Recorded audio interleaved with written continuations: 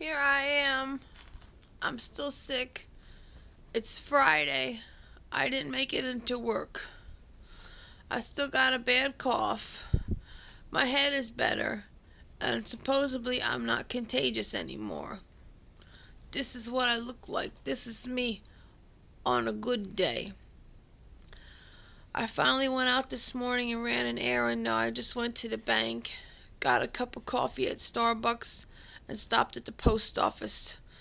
All took me about a half an hour, and now I'm back home. But it was good just to get out of the house for a few minutes because I was going a little stir crazy in here. Um, I got bad pimple on my face. I know it, so you don't gotta point it out to me and I'm just not feeling so good. But it was good to get out for a little bit. I feel a little refreshed.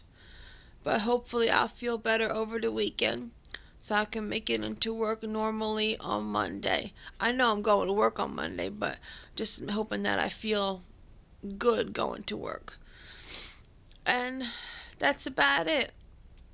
I haven't done much of anything. It's been a pretty boring life these past couple days. So I'll talk to you later. Bye bye.